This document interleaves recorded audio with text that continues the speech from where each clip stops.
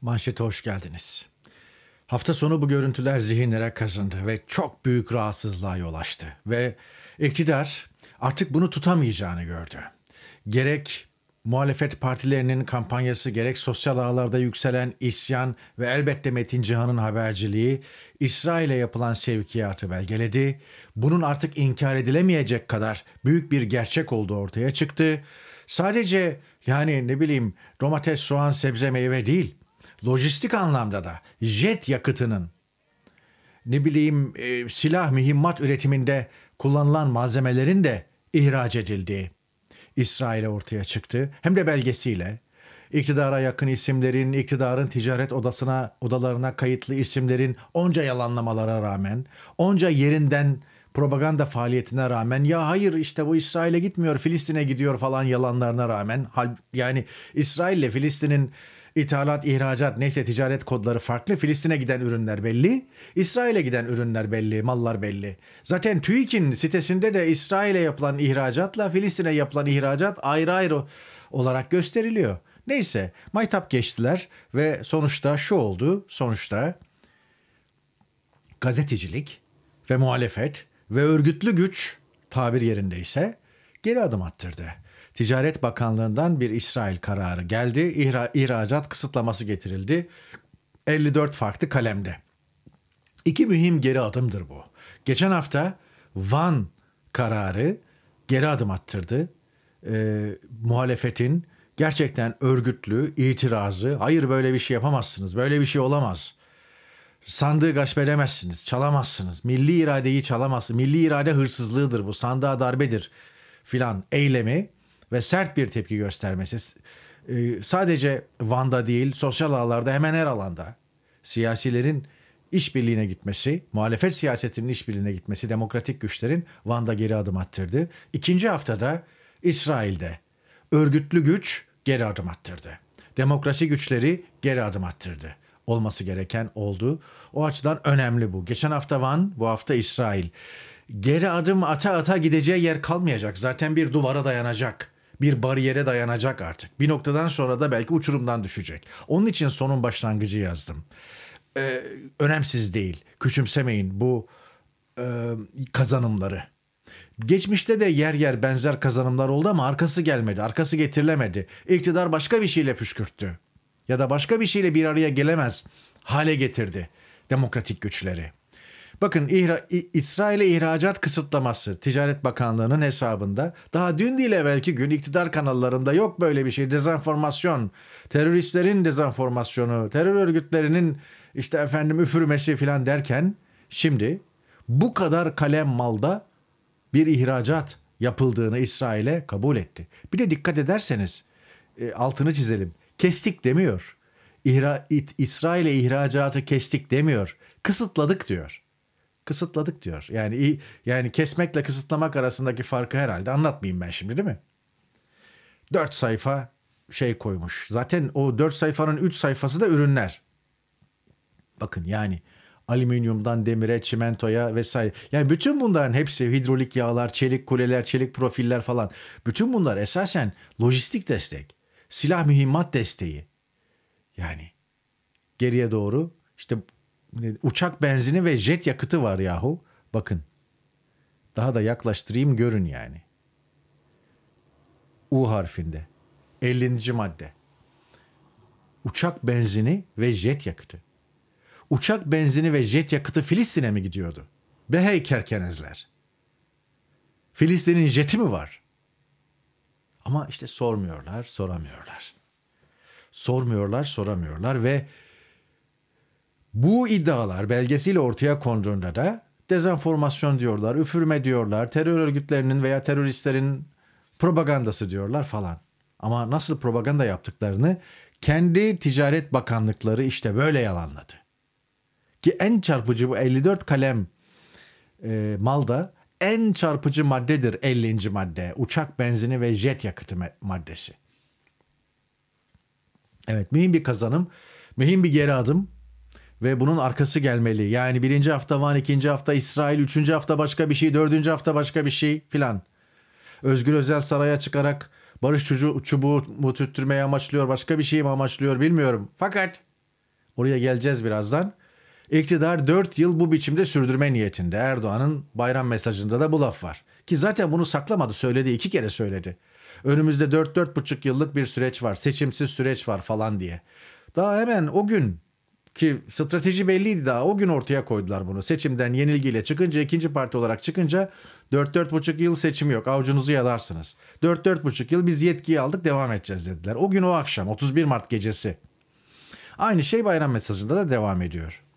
İşte böyle manşetler atıyorlardı. Ya bu Akit gazetesinin o kadar simge ki onun için ekrana getirdim. Bir sürü şey var. Anadolu Ajansı'nın metinleri var. Sanayi Bakanı, şey Ticaret Bakanı Ömer Bolat galiba. O Zevzek'in ekran ekran çıkıp e, iddiaları yalanlaması var. Orada duruyor yani hepsi iktidar kanallarının sosyal ağlardaki hesaplarında, YouTube'daki hesaplarında falan duruyor. Herifin zevzeklikleri.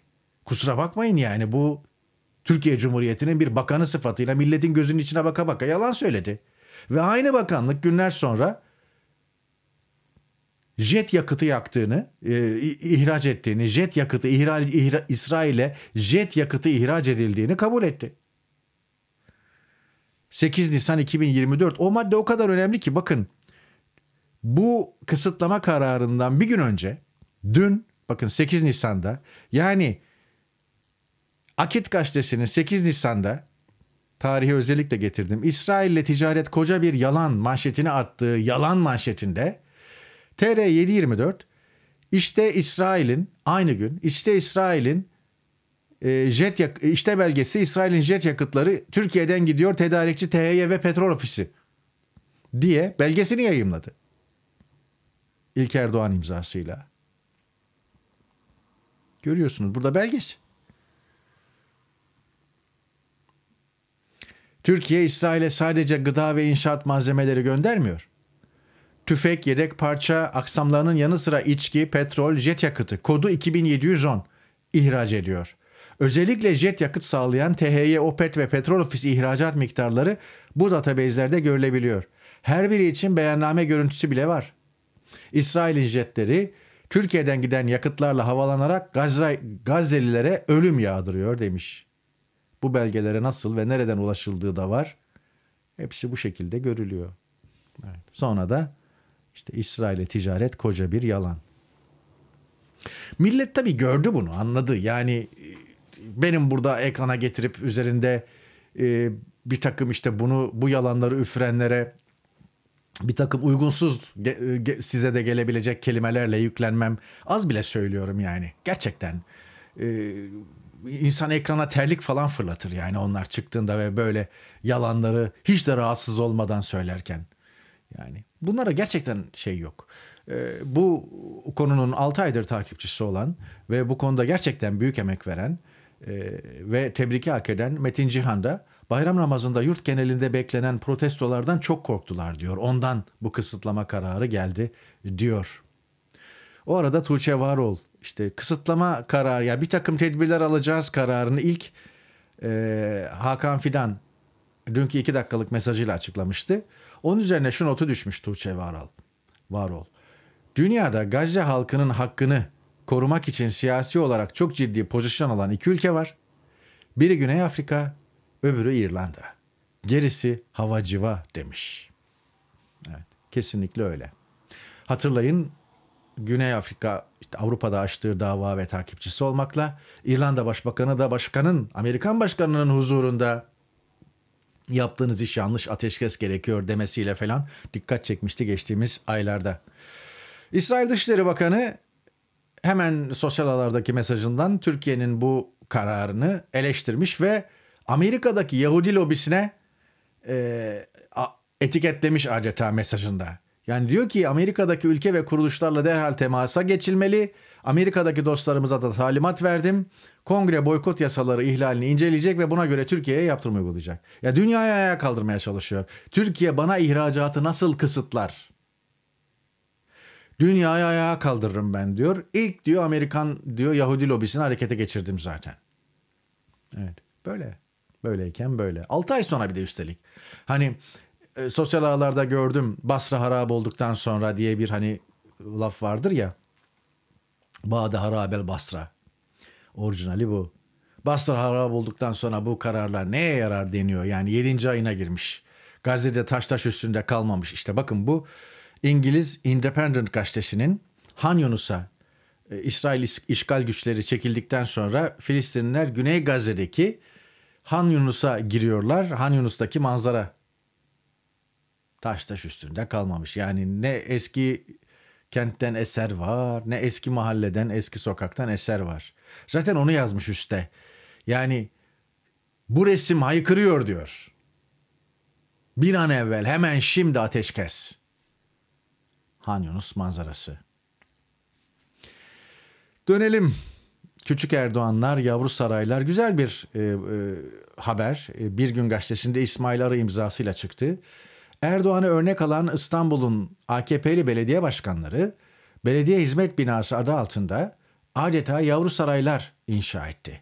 Şatafatlı devasa binalara belediyelerin kasasından milyonlarca lira harcandı.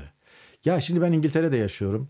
Yani Londra'da Buckingham Sarayı bu kadar şatafatlı değil yahu. Ya gerçekten Londra merkezde. Şeyi falan geçtim. Başbakanlık e, merkezini konutunu. Yani Downing Street 10 number işte number 10 gittiğinizde 10 numara.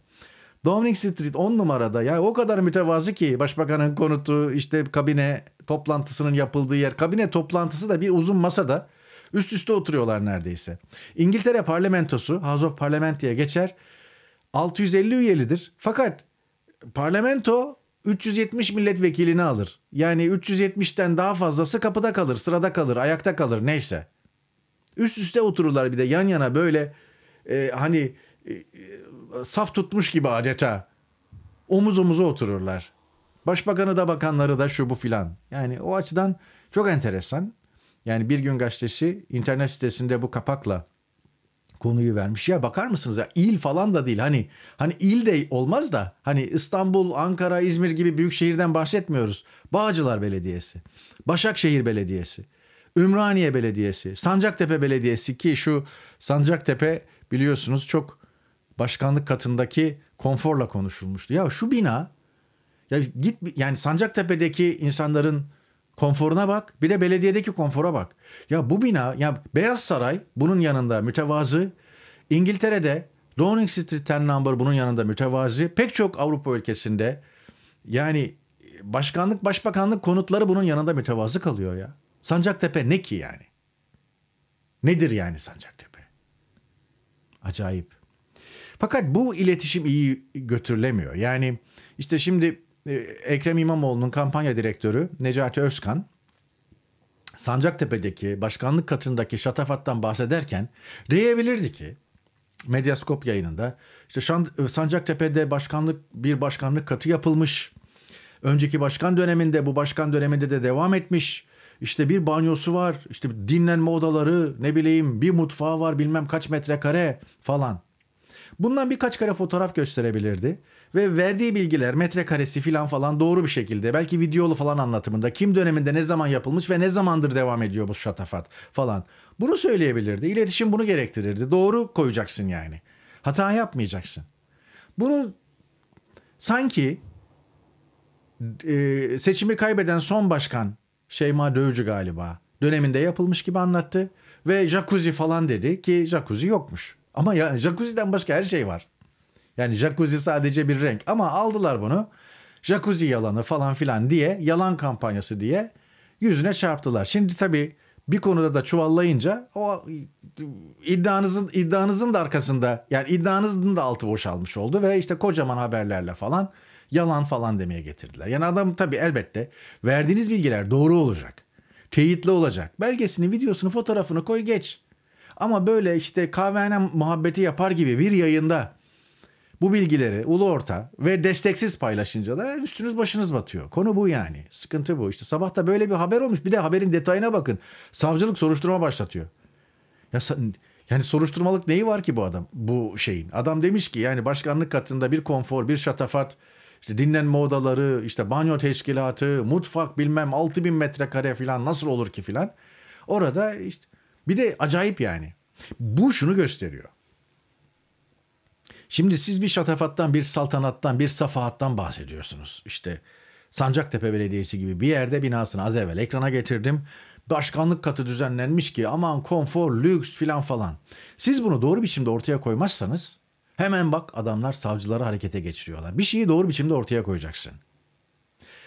Ee, eksik hata yapmayacaksın. Videosuyla, belgesiyle, e, tarafların görüşüyle. Gazetecilik de çuvalladı.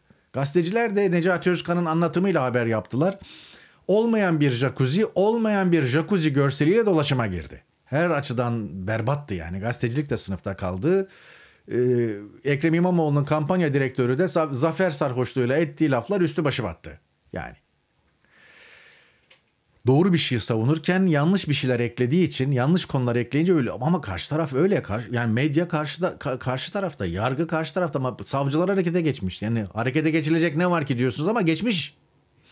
Haliyle şimdi siz büyük bir ekonomiyi yöneten gayri safi hasılanın büyük bir çoğunluğunu yöneten kamu ihalelerinin büyük bir bölümüne hakim falan belediyeleri hakim oldunuz. İktidara geldiniz. Yerelde iktidara geldi CHP Dolayısıyla en ufak bir hatada, en ufak bir yanlışta e, topuyla tüfeğiyle üstünüze gelecek bir iktidar var. Çünkü belli noktalar hala iktidarın elinde ve devlet iktidarın elinde olduğu için bu mekanizmalarla polisiyle, savcısıyla, hakimiyle sizi köşeye sıkıştırır ve algısıyla da bak işte CHP'yi seçtiniz ama adamların her tarafı yolsuz der. Onun için bu bir işaret fişeği olsun ve bu bundan sonraki konuların da olayların da bir habercisi olsun. Şimdi devamla dün bir nebze bahsettim. Yani neden Özgür Özel sabaha manşet oldu? Çünkü e, burada şunu dediği için Erdoğan'ı arayacağım, tebrik edeceğim, kendisinden randevu isteyeceğim, nereye randevu verirse oraya gideceğim. Bunu dedi, bu hoşlarına gitti. Aman aman aman aman, tek adamımız Erdoğan'ımız, saraydaki sultanımız. Bak bak bak bak bak tam böyle ana muhalefet lideri de kendine yakışanı yaptı ve e, makama saygı gösteriyor. Ondan dolayı manşete çektiler yani bu söyleşiyi. Fakat o kadar hoşlarına gitmiş ki Hürriyet'te birinci sayfasından olmaz böyle şeyler sabahın haberini almış aynen kullanmış. Yani niye? İşte bu yani Erdoğan büyük bir erozyona uğradı. Partisi ikinci parti oldu ama bak CHP birinci parti makama saygıda kusur etmiyor. Buradan bir itibar toparlama, itibarı düzeltme, kırıkları tamir etme, bir cila çekme olayı var. Yani net. Hatta Ahmet Hakan da dayanamamış. Özgür Özel'in Yavuz Donat'a verdiği demeç. Aman diyor nazar değmesin. Çok iyi gidiyor Özgür Özel. İki kere de söylüyor. Dedim ya aman nazar değmesin. Maşallah maşallah maşallah. Şimdi bu durum yani e, şeyi gösteriyor. Yani tamamen e, tek adam cephesi, saray cephesi Sultanım çok yaşa moduna geldi e, şey moduna girdi ve her türlü malzemeyi de bu şekilde değerlendiriyor. Ha, Özgür Özel tarafına baktığınızda da hayır kardeşim yani bu adam seni tanımıyor. Sizin e, attığınız adımları yok sayıyor. Sizi e, hain, işbirlikçi, ne bileyim terör uzantısı, aklınıza gelebilecek her e, kötü sıfatla damgalıyor hala isminizi zikretmiyor e, ve e, bunu da saklamıyor medyasıyla da ve siz işte sabaha manşet olan bir takım laflar söylüyorsunuz. Dolayısıyla bu elbette muhalif mahallenin de bana göre haklı olarak tepkisini çekiyor. Seni yok sayana aynı şekliyle muamele edeceksin. Yani bak böyleler yani şimdi bu Ahmet Hakan, Mehmet Uçum'a, Mehmet Uçum'un kullandığı dilde sorun var diye yazınca Ahmet Hakan yani usturuplu bir şekilde Mehmet Uçum'u eleştirince Ahmet Hakan'a cevap göndermiş. Parmak sallayan devlet dili. Ve laflarını ilerletmiş Mehmet Uçum.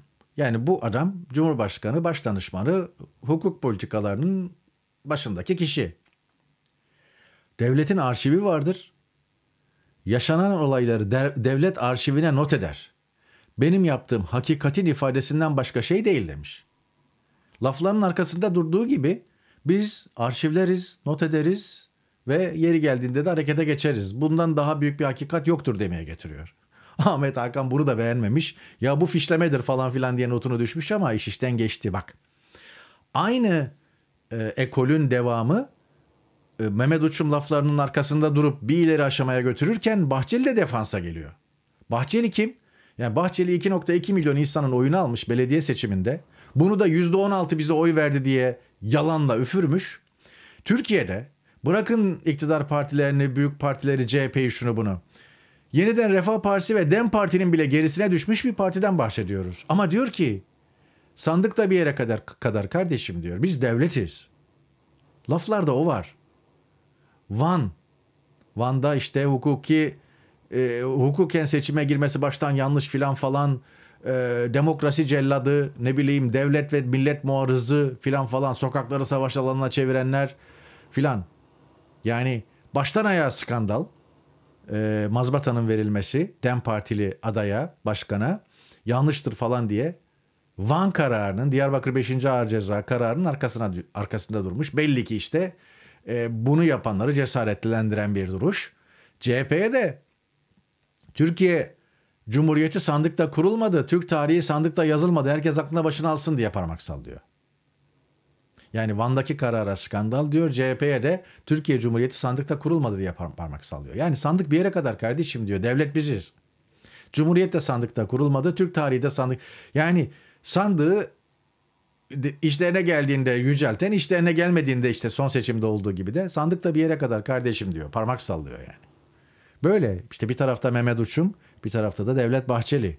Durum bu. Bakın Van demişken Cevher Güven paylaşmış. Van'da mazbatayı ikinci sıradaki AKP adayına veren hakim Erhan Çavuşoğlu, AKP'li Niyazi Çavuşoğlu'nun kardeşi. Çavuşoğlu kardeşlerin Antep, Ankara, Antalya'da yatırımları varmış. Karun gibi zenginleşmişler. Hakim Çavuşoğlu daha önce adli emanetteki uyuşturucuları satmaktan soruşturma geçirmiş. Yine aynı suçtan daha evvel ceza almış. AKP'li belediye başkanı kardeşinin bağlantılarıyla aklanmış filan. Böyle bir şebeke var karşınızda. Sıralı yani Erdoğan'la bitmiyor olay. Erdoğan, Erdoğancıklar, tiran, tirancıklar, Tayyip, Tayyipçikler, saray, saraycıklar, yavru saraylar falan aşağı doğru inen bir mekanizmadan bahsediyoruz. Mesela artık saray ve o Erdoğan'ın çevresindeki bir avuç oligark şu bu falan değil. Aşağı doğru inen bir şebeke var, bir çete var. Bir mafyalaşmış ve devlet imkanlarıyla sağa sola parmak sallayan bir e, örgütten bahsediyoruz. Ne derseniz deyin. Ve karşısındaki herkesi de örgüt olarak gören ve karşısındaki herkesi de terör, terörist, hain işbirlikçi olan olarak gören bir yapıdan bahsediyoruz. Bakın. Van demişken e, Van'da Büyükşehir Belediyesi'nin resmi hesabında neden Kürtçe biyografi var diye bir soru sormuş bir tanesi anonim bir hesap. Nurcan Baysal buna cevap vermiş. Van nüfusunun neredeyse %90'ı Kürt ne olacaktı diyor. Öyle yani uzaktan ahkam kesenler yani Türkiye'de insanlar hani bize yazıyorlar bazen diyorlar ki orada konuşması kolay, oradan ahkam kesilmesi kolay, oradan böyle mi görünüyor falan. Hepsini geçtim, gülüp geçiyorum onlara. Bazen de esprili cevap veriyorum. Neyse, takıldığım yok. Fakat Türkiye'de de insanlar kendi illerinden, kasabalarından çıkabilmiş değil. Yani Bartın'dan Van hakkında ahkam kesiyor. Afyon'dan Hakkari hakkında ahkam kesiyor. Yani Amasya'dan e, Mardin hakkında görüş bildiriyor. Hayatında gitmemiş. Hayatında Malatya'nın doğusuna geçmemiş insanlar. Hatay'ın doğusuna geçmemiş insanlar. Bilmiyor. Gitmemiş, görmemiş. Yani e, yaşamamış. O, coğrafyanın farkında değil. Halkın toplumun farkında değil. Konuşulan dilin farkında, farkında değil ihtiyaçların önceliklerin farkında değil. Oraya göre Bilecik'te yaşıyor ve Bitlis hakkında hakem kesiyor. Hiçbir fikri olmadığı halde. Sadece bir sigara markası olarak biliyor Bitlis'i. Anlatabiliyor muyum? Millet uyandı ilk seçimde kurtulacağız inşallah diye yazınca Kadir Bayram, Mahve Eğilmez o kadar emin olma sıkı bir ücret zammına bakar demiş ki bu doğru yani Evet eğer iktidar bir takım zamlar yapsa bir takım ne bileyim hazineden veya para pasarak neyse kalan kaynakları da kullanarak bir takım şeyler dağıtsaydı emekliye, memura, ne bileyim ücretliye daha farklı olabilirdi. Katılıyorum. Ee, ve belki biraz daha zorlardı. Şansını artırırdı belli noktalarda ama bunu yapmadı. Ee, bu ileride yapmayacağı manasına gelmez. E, seçimin pek çok sonucu olabilir ama bir sonucu da elbette e, boş tencereden gelen ses. Boş, boş tencere iktidarı yerelde devirdi. Bu Mayıs 2023'te bekleniyordu. Herkesin beklentisi bu yöndeydi. Boş tencere iktidarı devirir. E, Demirel'in özdeyişi o gün gerçekleşecek zannediyordu. Gerçekleşmeyince boş tencerenin iktidarı devirmediğini gördük yorumları yapıldı. Bu yorumu ben de yaptım. Fakat boş tencere 8-10 ay sonra e, Mart 31 Mart 2024 yerel seçiminde ses verdi. E, biraz geriden geldi ama geldi yani. Bu bu ekonomik tarafını işin asla atlamamak lazım. Fakat yarın sıkı bir ücret zammıyla da her şey değişebilir. Evet Mahvi Hoca o yönüyle de doğru söylüyor. Ahmet Altan'la kapatalım. Arefe günü bugün. Ee, yarın bayram ama ma- e, manşet e, kendi ritmini bozmayacak. Çarşamba günü her zaman olduğu gibi yok. Perşembe günü ve cuma günü manşet e, ekranlarda olacak. Ne gündemle? E, önümüzde ne gündem olursa bayram gündemi olur, başka bir gündem olur. Her ne halise. Ahmet Altan'la kapatıyoruz ki gerçekten benim de son dönem yaşam felsefem, felsefem olmuş bir cümleye imza atmıştı. Bir duvar yazısı gibi çerçeveletip asılacak bir cümledir bu. Bir gazetecilik bir anlamda manifestosudur. Önümdeki birkaç yıl için arkamdaki onlarca yılı korkaklık ederek çöpe atacak biri değilim. Diyor ve herkese iyi bayramlar dileyerek manşeti noktalıyorum. Bir sonraki yayında görüşmek umuduyla. İyi bayramlar.